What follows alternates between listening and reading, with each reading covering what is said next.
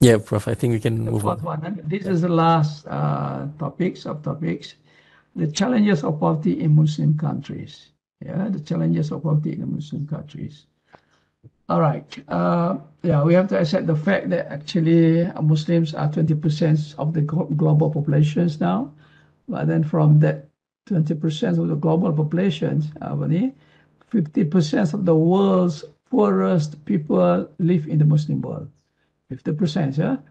Uh, if you were to, if you were to, to, to, to, to, to count the, the, the, the poor in all over the world, 50% of the world poorest people live in the Muslim world. This is the fact. And uh, some are saying that every one in five Muslims uh, live in extreme poverty. Uh, I, I think we cannot see this in in in uh, Brunei lah kan. But overall, they are saying in all over the world, in all over the Muslim world, uh, within five Muslims, there must be one who are living in extreme poverty. And also we can see that from a bigger picture, out of 57 uh, OIC member countries, OIC is the Organization of Islamic Countries. Uh, 25 member states of sub-Saharan African countries are amongst the most poverty-stricken countries in the world, uh, especially in sub-Saharan Africa. And Alhamdulillah, uh, undoubt- undoubtedly that there, there are a lot of endeavors and also uh, efforts of the governments, of the people to overcome the problems of poverty. But uh, I can see um, there are at least four uh, things which we need to be uh, we which we need to improve in order to overcome the challenges the poverty of the muslim countries. The first one of the management of poverty. You see when we read any references or any writings or any reports uh, many of them are using the terms alleviation of poverty? Or some of them using a more uh, a more more ini a more energetic or more ini uh, they, they use the, the term elimination of poverty. They want to eliminate altogether. And the alleviation is means that to decrease the, the poverty yeah? Uh, to reduce the poverty but the elimination is to to. I, I think this is quite ambitious and in fact it is a kind of dreams because if you see in the history of the human beings, we have yet to see any times of the history of human beings that there was no poor at all, no poverty at all. Yeah, uh, even in the, uh, in the in the in the in the uh, apa ni, times of the uh, Umar ibn al-Aziz, yeah, many are saying uh, during Umar ibn al-Aziz, yeah, there are no people who want to accept the zakah, zakah. But that doesn't mean, yeah, from my study, that doesn't mean that there were no poor people who are uh, qualified to accept the zakat, but they want to, they don't want to accept the, uh, they want, they don't, they don't want to accept the zakat because they have a kind of feeling which we term as kana'ah or satisfied with, with what uh, they have, with what they have. So uh, elimination of poverty is quite uh, imaginary uh, and also is quite uh, impossible. It's, it's, it's, it's, actually definitely impossible. Even though the alleviation, I think it's not the right concept to be in overcoming the challenges of poverty in Muslim countries, but instead we have to have the management of poverty. Uh, we are actually uh, need to manage the poverty, to manage the poor, rather than to eliminate the poor or to ele- elevate the poor.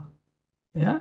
So the management is very very important because we can see during the sirah in the sirah of Rasulullah sallallahu alaihi wasallam, even uh, during the time of Rasulullah sallallahu alaihi wasallam, there are also poor people. There were also poor people like uh, uh, what we term as uh, Ahli Sufa. Uh, Ahli Sufa is a group of people uh, living uh, at the veranda of the Masjid Nabawi. Uh, they, ha- they don't have the family, they don't have any assets, and they just stay there and learn with Rasulullah. Uh, uh, and they were considered from our perspective now as the unemployed. And in fact, if you can see that if you see it from our perspective now, for our conventional uh, perspective, we can uh, claim that uh, they are actually in absolute power, in absolute poverty, because they have nothing, including their foods, their drinks. Yeah, uh, but Rasulullah SAW, uh, had never asked them to work or to become rich, to work or to become rich. Uh, they were allowed that. And then, uh, but at the same time, there are Sahaba, the companions of Rasulullah who are rich, who were rich like Abdurrahman bin Auf, know, Osman bin Affan. And in fact, we were told that Sayyidina Abdurrahman bin Auf used to come to Rasulullah uh, asking Rasulullah um, for his permissions to become poor. Uh, so Abdurrahman bin Auf wanted to become poor because uh, he was told that uh, uh, he will be one of the Sahaba who will enter the Jannah uh, in the later times because he needs to do the hisab of his uh, assets, of his uh, wealth, and so forth. so Abdurrahman bin Auf wanted to go into Jannah as soon as possible, and therefore he wanted to give up all his wealth and to give it to Baitul Mal. But Rasulullah didn't allow that to happen. And Rasulullah SAW uh, was saying that you need to be rich. Yeah. Uh, so uh, we were asking actually why uh, Abdurrahman uh, bin Auf, Sayyidina Abdurrahman bin Auf, allowed to be rich, and then the Ahli Sufa allowed to be poor. So from there, we can try to see uh, the the the the implications of that or the the uh, or what actually happening is this uh, ahli sufa are allowed were allowed to be rich and to be poor because they do not disturb the community. Yeah? They do not disturb community by by asking people to help them. No they don't. they don't do that. Uh, if we say that they are unemployed, it is not true because their tasks are to learn from whatever uh, from Rasulullah SAW, and they went out to do the da'wah to dis disseminate whatever that they got from Rasulullah uh, to other brothers and sisters. And then, as in saying, whenever there is a call for jihad, they were the people who who who who, who will go first uh, to the France to go to jihad. So actually they have the works to do. They have the works to do. So, but then because we uh, measure the poor, the poverty based on our materials, uh, the incomes, uh, the employment, and therefore we allege them as being poor.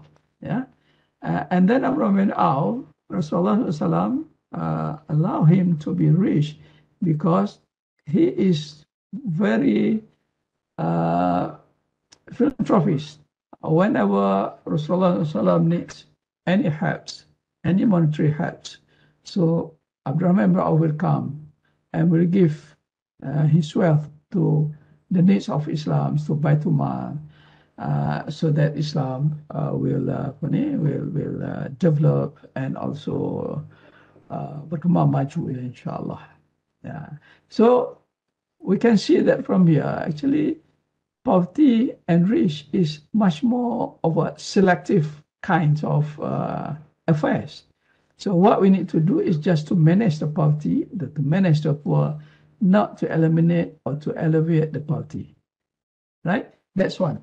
Number two, uh, whenever in the conventional uh, conventional discussions, discourses on the uh, poverty, and also in the discussions and the discourses uh, of poverty in the Islamic economic development, yeah, uh, they do not redefine what is the meaning of poverty.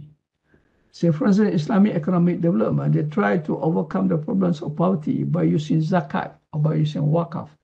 So, definitely, zakat and wakaf are the two, uh, two energetic Islamic uh, institutions that uh, have proven to have uh, be able to overcome the problems of poverty.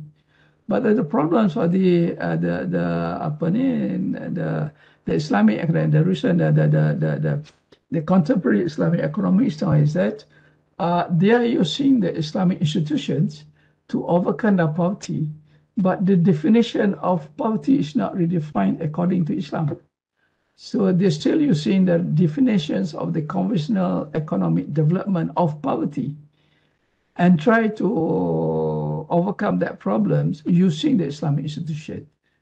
So we can see how how how how Kelangkabut or how uh, uh, the mixture of that kind of conventional and the so-called Islam, uh, so-called Islamic system or Islamic process. And I think that is not right.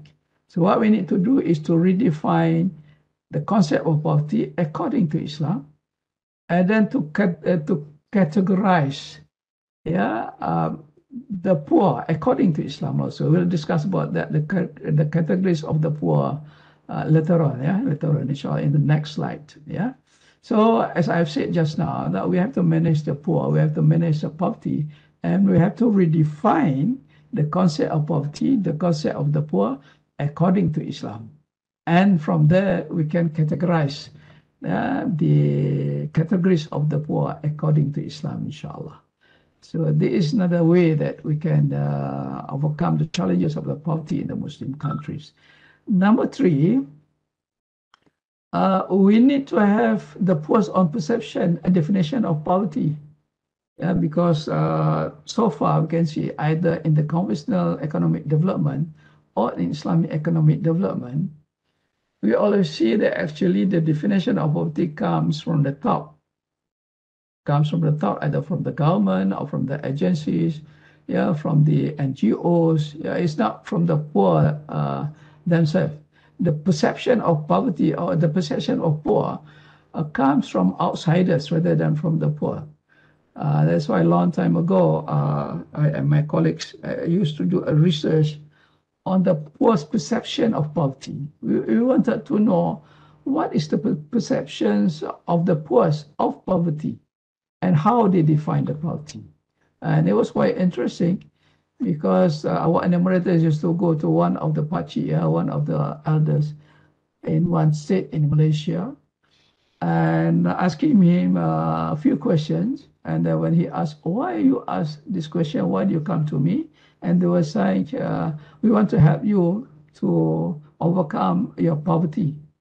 And uh, you are considered as poor within the government when you list. so he was very, very angry He was saying, oh, who said that I am poor? Uh, if I, I want to eat chicken, the chicken are a lot behind my house. Yeah, I want to even have the beef, and I have the cows, uh, yeah, beside my house. Uh, if I want to eat fish, and then uh, at the back of my house also there are there is a river that I can always catch a fish for my food, and uh, I also cultivate uh, paddy, and then I can always you know that everything I need, I have it. And our Ramadan was saying, but you don't have the money, right? Yes, I don't have the money. But it is not necessary that without the money, I am poor because I can fulfill all my sustenance, all my needs. Uh, so you see, you see, this Pachi is not considered himself as poor because they can fulfill whatever that they want and whatever that he wanted to. Yeah, uh, even though they don't have the money. So the money is not important to him. Um, the, the, important thing is to, to fulfill the needs. Yeah? Uh, so this is the post-perception. But then this is quite different. When uh, our enumerators uh, went to a house, um, the wife, the names of the wives is included in the list of the poor uh, uh, enlisted by the government. And but then they were surprised to see, wow, the house is very big, a bungalow, and in front of the house there are a lot of tractors, there are a lot of uh, lorries, yeah. And then uh, the emeritus asked Machi, uh, "Are you by this name?" And he, she was saying, "Yes, I am." And then uh, I said, "But uh, you are listed in the poor uh, categories." Uh, and, but we can see that you have a lot. Of, you you have a big house or bungalow. You have a lot of lorries and also tractors. And what she said, she said, "Yes." um, I am, yes, I am poor because all this the houses, the house, the tractors, the lorries, uh, belongs to my husband, not to me. So I don't have anything, and therefore I am poor. So you see that there are also people who think that she is poor, she is poor, even though her husband is rich. Uh, that, there is the people with without what we call a kind of satisfaction, yeah? With the satisfaction. And this is also Rama. So in overcome the challenges of the poverty in Muslim countries, we need to ask the poor themselves, what is the perceptions and what is the definition of poverty? Because you can see the old man with the uh, woman, the definition, the perception of poverty is quite different. And definitely between the two, we need to cater, we need to overcome the problems of the uh, woman rather than with the elder man. Yeah? All right. And lastly, there must be a right blending of top-down and bottom-up approaches. Uh, so far, many people are hoping for the governments yeah, to do everything for the poor. Yeah, to do everything for the poor. So it is more of a top-down process rather than bottom-up uh, uh, process. So that is also, I think, not right because both the government from the top and the ni, the, the the community, the society at the bottom must uh, do their, their, their task to overcome the problems of the poverty in this country so that the people down are not dependent on the government itself. Yeah. Uh, so these uh, the four factors that I think we need to consider in order to to uh, to to to to overcome the challenges of the poverty Muslim countries. And lastly, uh, in order to do this, whenever that we do these four things, and then when it comes to a kind of a diagrams, uh, we categorize the the the the categories of the poor, and then we can identify which categories, which group of the poor that we need to uh, put attention uh, more than the others. Yeah. So, right, we were saying that whenever we discuss about the poverty, we need to take into consideration the soul factors, the spiritual factors, and also the economic factors or the material factors. So that's why in the categories one, two, three, four, we divide it into soul and wealth, and then we have the notes on the right. So there are people who are rich in soul, and then also who are rich in wealth. So these people uh, is the most commendable category that we need to create yeah, at our country, in our country, in our community. Uh, we should produce such a people as many as possible, meaning that we try to overcome the problems of poverty by, be, by, by becoming them to be rich, but at the same time, the spirituality also high. Yeah, the faith is also very strong. Uh, so the soul is also rich and also the West also rich. So we are not worried about this kind of people. And in fact, this is the group of people that want to produce in our country, inshallah. Uh, there are also second category uh, who are rich in soul, but poor in wealth. So we can see that kind of Pachi just now, kan? Uh, his soul is very, very, very rich, inshallah. Uh, even though they are poor in our eyes because uh, he is poor. He, he is poor in our eyes because he uh, doesn't have uh, any money. Uh, so this one also can be allowed to exist out, uh, out of his own choice, since he is able to live without burdening the state and society. Yeah. Uh, so relax and allow them to be what he wants to be. All right, the other one is the poor in soul and poor in wealth. And this is the most problematic groups. Yeah, this is the most negative category and the most needing helps. Uh, and then, in fact, substantial parts of the state's allocation should be allocated for them, because it's not also they are they are not also poor in wealth in in in uh, in economy, but also the spiritual. Uh, their spirit, spirituality is also poor. Uh, so this is the first category that we need to concentrate on yeah, to take into account, yeah, and to have a, a, special allocation for them to overcome. And number four is the poor in soul and rich in wealth. Uh, ini uh, the rich people without faith. Uh, this is the second most negative category.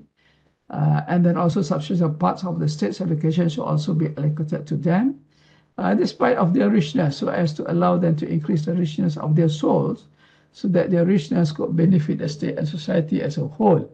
So um, in this, we can see that actually in the Islamic management of the poverty, uh, in an economic Islamic economic development, it is not the poor people that we need to overcome their problems, especially the number three, the, the category, the group three, but also the group four. So we need to also take care of the rich, of the rich who are having the poor faith. Uh, so the first degree, definitely those people who are poor in wealth and also in soul. But then the second is the who are rich in wealth but poor in soul. Uh, so meaning that we need to cater and we need to improve the soul of the rich. Uh, because if we if they remain like that, they're not able to, to, to help the poor. But then if their faith are increased and inshallah, they they will distribute their, their wealth to the poor. Uh, and inshallah they will help the poor and therefore uh, they can benefit the states and also the society as a whole, right? So uh, this kind of categories, uh, so far, I haven't seen in any uh, effort in overcoming the problems of poverty in the Muslim poor, despite uh, also in the Islamic, the so-called Islamic economic development. All right, I think that's all that I need to say.